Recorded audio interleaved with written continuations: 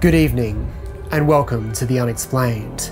Today we discuss a curious story of a brunch date with an extraterrestrial being.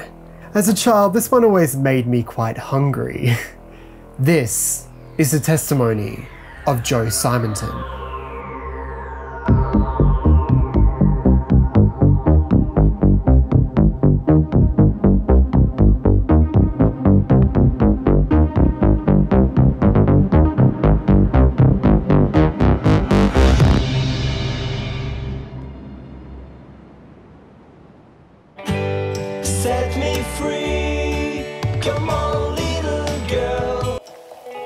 11 a.m., April 18th, 1961. It was an ordinary day for 60 year old plumber Joe Simonton. He was making his lunch on his chicken farm when his life changed forever. A sound like tyres on wet pavement screeched above his property. When he looked out the window, he saw a craft descend to the ground. He rushed outside when he saw this. There was a hatchway opening up in the top of it, just like the trunk of your car. And in there, there stood a little man. I say a little man, about five foot tall, holding up a jug or uh, a container, and he motioned he wanted to drink. The little man was wearing a two piece suit and looked, according to Joe, Italian.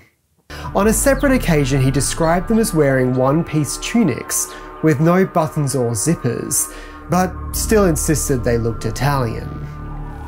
There were two others who also remained inside the ship. Joe, in disbelief, took the jug from the little man and filled it up with water. Still in shock, he took the filled jug back to the spaceship and handed it back to the man. The little man gave him a salute with the back of his hand, and Joe saluted back. Then silence. No one said or did anything. But there was another little man to the right side of Joe. He seemed to be cooking on what appeared to be a square flameless stove, but appeared to be very hot with smoke coming from it. Joe described what they were making as pancakes. Unsure of what to do, Joe signalled that he wanted one of the pancakes by symbolising eating. The man didn't say a word, but grabbed four of them and handed them to Joe. They were incredibly hot and greasy. If that was their food, God help them, because I took a bite of one of them and it tasted like a piece of cardboard. And uh, if that's what they lived on, no wonder they're small. Then, Joe exited the craft, and the hatch closed tight, and it rose and shot off into the sky. Within two to three seconds, it was gone, never to be seen again. Well, there I stood in the driveway with a handful of greasy pancakes, my mouth open, wondering what the heck I'd saw, what had happened. He kept the story to himself, but eventually felt as if it was important enough to contact authorities. The Air Force's UFO investigation team, Project Blue Book, was on the case and had determined that he was a credible witness, but found no evidence to corroborate his story. The four pancakes ended up in different locations. The first one was taken by Project Blue Book, the second was kept by Joe, and the remaining two were given to various UFO investigation committees.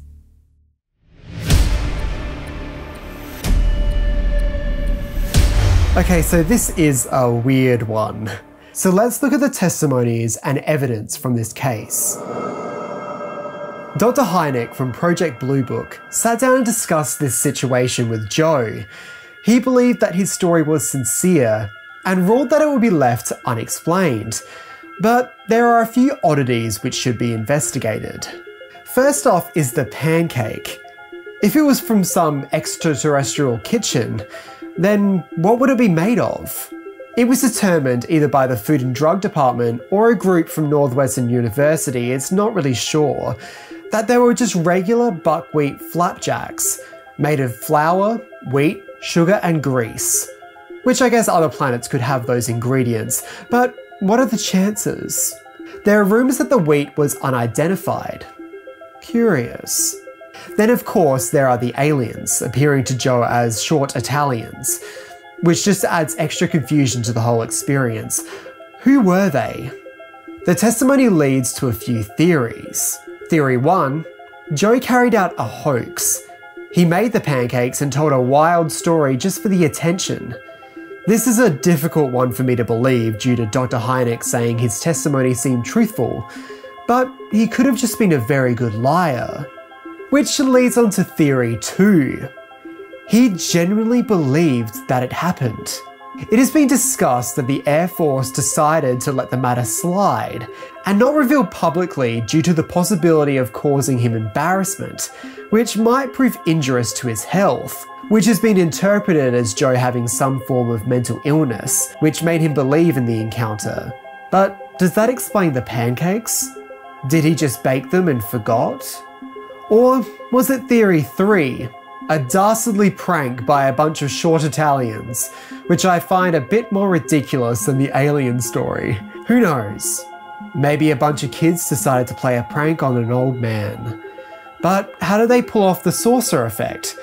And why this sort of prank when Joe had no interest in UFOs before this encounter?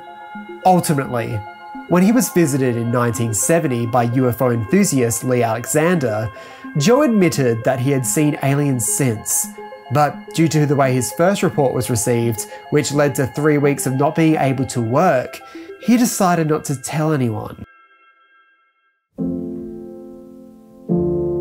Did Joe Simonton really have brunch with extraterrestrials?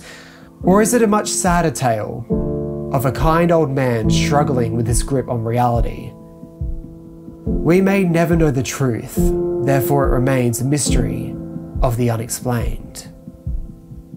Personally, I think there is something so sweet about being given pancakes from a person from another world.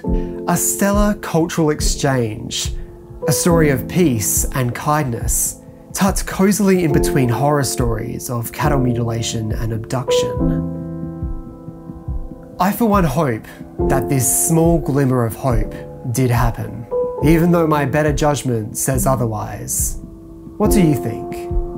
Until next time, friends, good night.